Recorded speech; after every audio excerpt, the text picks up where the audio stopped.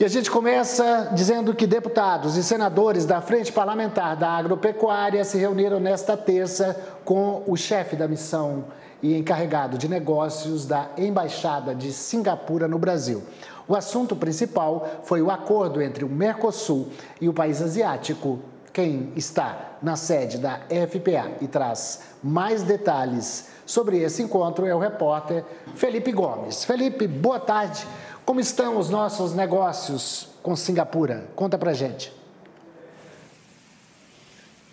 Boa tarde, Valtero. Boa tarde a todo mundo que está acompanhando o nosso jornal. Pois é, a coisa que está positiva, viu, Valtero? É, inclusive, essa reunião ela foi a pedido do próprio encarregado é, das negociações, do chefe dos negócios da Embaixada de Singapura com o Brasil, né, para pedir justamente a celeridade na aprovação desse documento quando ele foi encaminhado lá para o Congresso. Esse, documento, esse acordo do Mercosul com Singapura ele foi assinado em dezembro do ano passado, durante o encontro da cúpula lá no Rio de Janeiro. Ele ainda não está valendo, ele precisa ser encaminhado para os parlamentos do bloco do Mercosul para ter, passar a ter validade. Então, hoje aqui aconteceu essa reunião que o, o, o, o chefe das negociações da Embaixada de Singapura pediu, se, se encontrou aqui com os parlamentares para pedir justamente celeridade é, na aprovação desse documento quando ele chegar lá no parlamento. O documento está na fase ainda de tradução, né? E assim que terminar essa tradução desse documento, ele foi encaminhado para o parlamento, é, ele será aprovado, assinado pelos parlamentares, que é de interesse do Brasil também é, fechar esse acordo acordo com o país, da, da, com Singapura, né, o país parceiro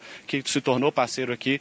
Eu estou, inclusive, com uma lista sobre os produtos que o Brasil exporta é, é, para Singapura. Né? São proteínas animais, é, é proteínas é, de, de, carne de aves, né, de, de boi, enfim. Então, esse é um acordo importante. Daqui a pouco eu falo até aqui a lista direitinho, que eu deixei uma colinha especializada aqui, preparada para a gente ter noção do tamanho do mercado que vai representar esse acordo do Mercosul com Singapura.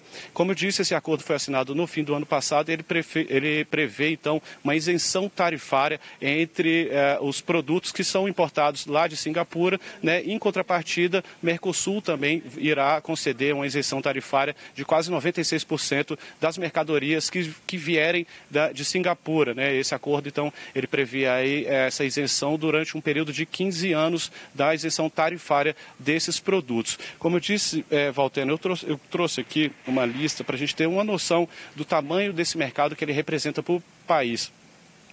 É, Singapura ele é o quinto principal mercado de carne suína no Brasil, sexto para vendas da, de ferro gusa, também de ferros liga, sétimo para óleos brutos e petróleo e o oitavo para carnes de aves. Tem também é, está em décimo quarto para a, a produção de, de, a exportação de carne bovina e o vigésimo quinto para produtos hortícolas. É, a gente tem aqui uma vasta um vasto espaço territorial onde a gente produz bastante, todo mundo sabe que nós somos líderes na produção de grão, que não é o caso lá de Singapura. Eles têm a limitação do tamanho geográfico ali para a produção. Então é importante fechar esse acordo, tanto é que o próprio, embaixa... o próprio encarregado de negócios da Embaixada de Singapura veio até aqui para se mobilizar, para pedir então a celeridade no acordo quando ele chegar lá no nosso parlamento. O ano passado, no, perdão, em 2022, eh, o país teve um superávit aí de 7, mais de 7 bilhões de dólares nessas negociações que foram feitas com o país de Singapura. Então, esse acordo, assim que, que tiver pronto, tiver traduzido,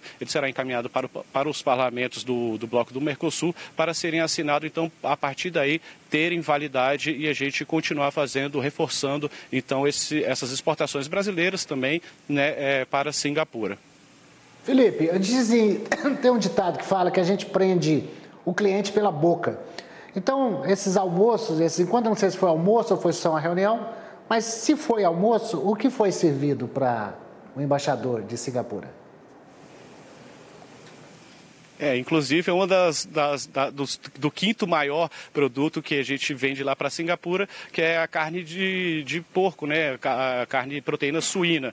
Então hoje aqui está sendo servido por acaso é, carne de porco aqui para os parlamentares, inclusive para o chefe de, de, negociações, o senhor Desmond, que aproveitou para comer um pouquinho aqui da, da nossa proteína animal de carne suína, que é o quinto produto mais exportado lá para Singapura. Então eu creio que isso daí a gente também prende prendeu ele pela boca mais um pouquinho. O, o, o, o chefe de negociações da Embaixada de Singapura deve fazer essas outras visitas é, nos países que compõem aí o bloco do Mercosul para justamente pedir, então, celeridade, que eu acho que é muito de interesse deles também terem garantido. Né? A gente sabe que a gente está tendo novos casos é, de gripe aviária, inclusive, né? e aqui a gente é um país livre da gripe aviária, então eles têm essa preocupação de manter abastecido o mercado deles. Então, como eu disse aqui, é uma lista imensa, é, é enorme, né? além das proteínas que a gente exporta lá para Singapura, Singapura. Ainda tem o ferro gusa, é, ferro ferro, ferro, enfim, materiais aqui, óleos brutos, que também é o principal é, é, produtos exportados para Singapura.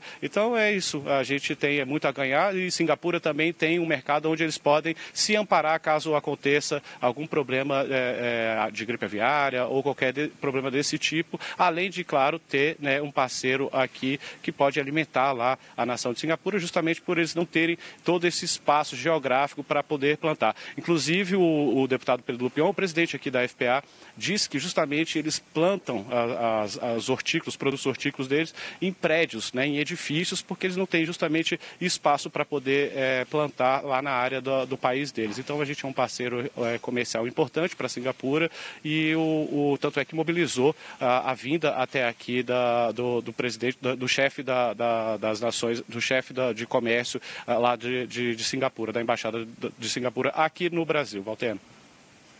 Certo. Obrigado pela sua participação. Ah, qualquer novidade, aciona. Você está aí com a liderança da nossa FPA. Está sempre cheio de notícias. Obrigadão pela participação.